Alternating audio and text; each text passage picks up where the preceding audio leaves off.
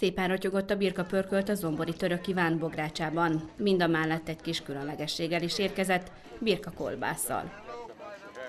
Rendes kolbászt csinálunk disznóhúsból, de mink fogtunk uh, birkahúst, hátsó combot leszetünk, 5 kg húst, tettünk 20% zsíradékot disznóból, mert a loj, amit birka zsíradék, az nem jó, az ér, nagyon érződik.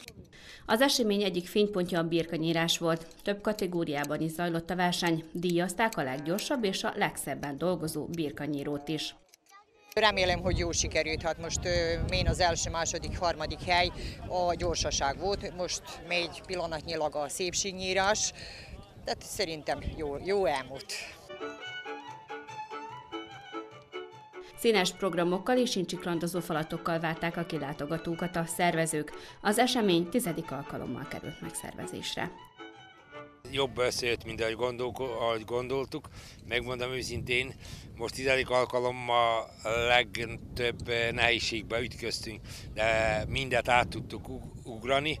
Az ilyen és ehhez hasonló eseményeket a Tartományi Mezőgazdasági Titkárság is támogatja tartományi mezőgazdasági titkárság a tegnapi napon megjelentette a hagyományőrző rendezvények támogatására vonatkozó pályázati kiírásunkat. Itt egyesületek, önkormányzatok tudnak pályázni egészen július 11-ig ilyen és hasonló mezőgazdasági jellegű rendezvényekre. Ilona falván díjazták a legfinomabb birkapaprikást és a legízletesebb pálinkát is.